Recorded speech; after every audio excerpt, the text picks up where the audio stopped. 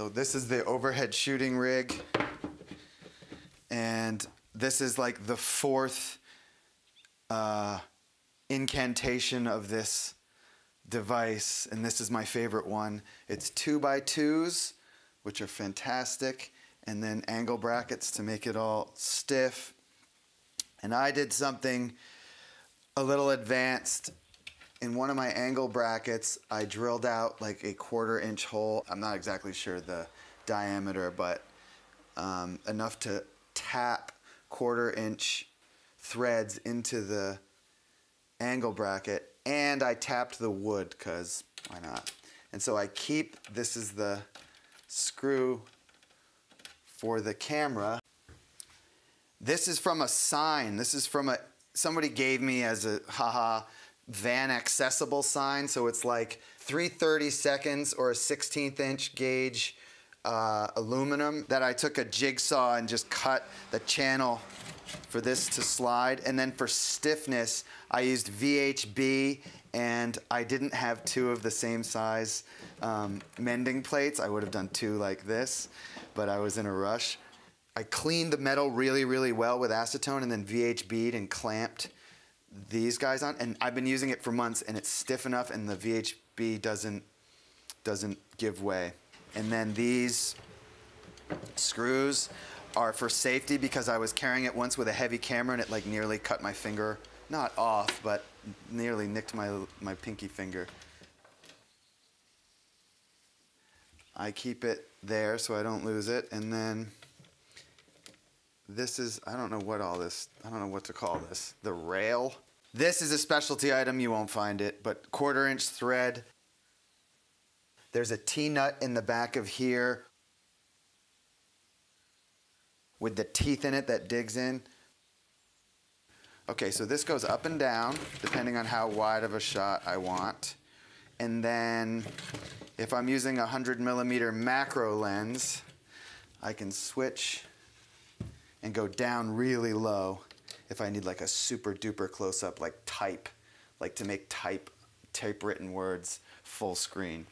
And so yeah, the overhead shot, Wes Anderson used it uh, in the opening, one of the opening shots of the Royal Tenenbaums when the book goes in and it gets stamped.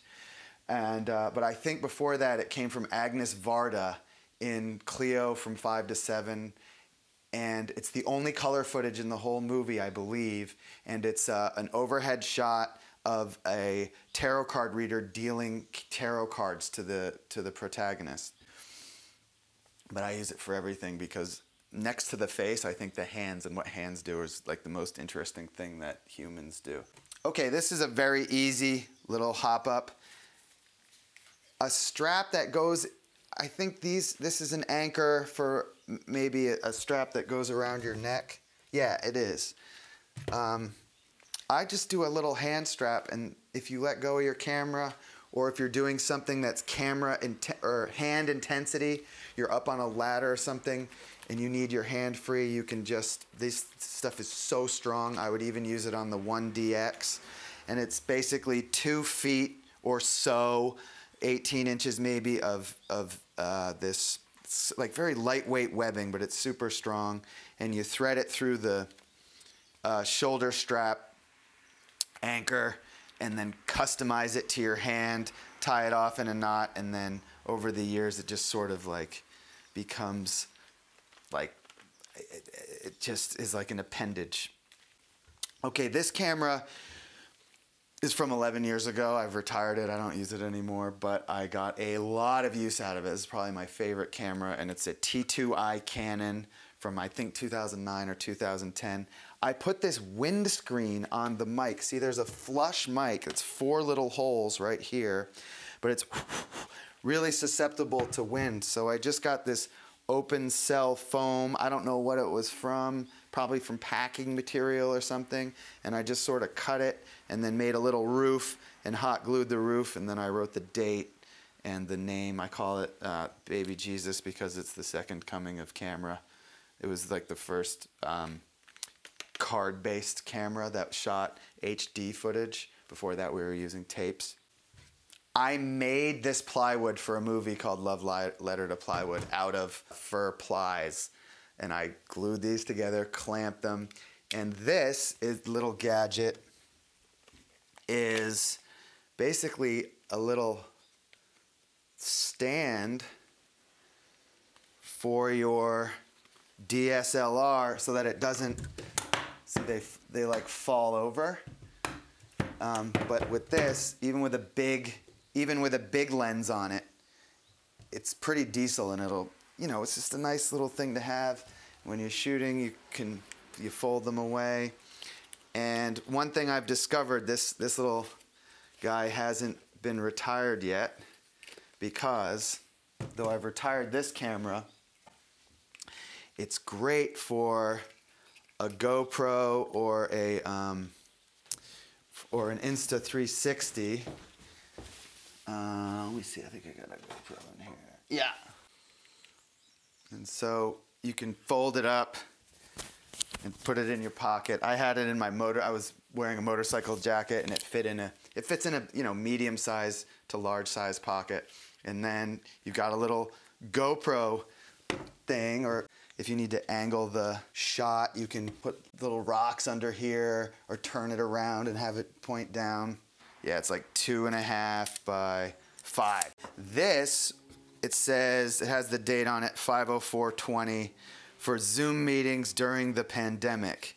And this is also a handy little guy. It's just, I like this one, Ruitos. It's like an Amazon, probably made in China company.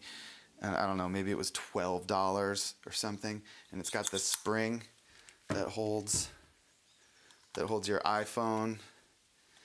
And it's good for Zoom meetings, but it's also good for, you know, shooting.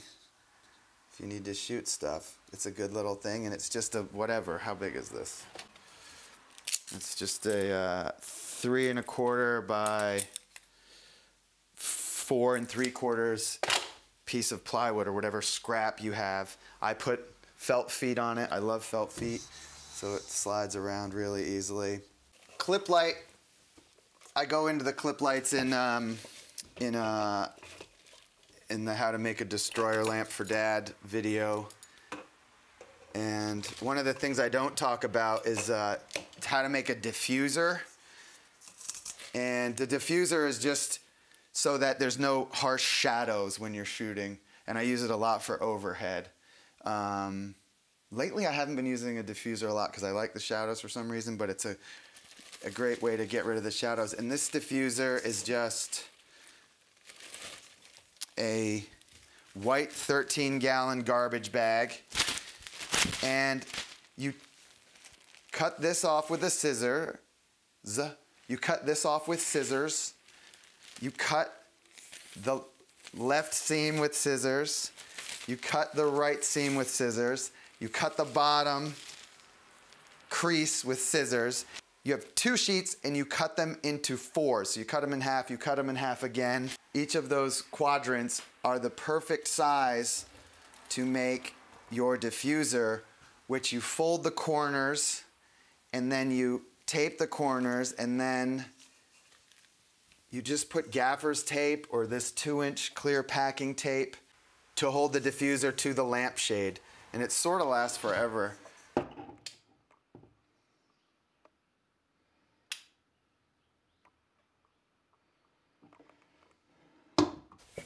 $14 at Home Depot. It's called a heat lamp. Don't get the one that's like a clip light. It's just not as high quality and the clamp isn't as strong and it, it won't really work. So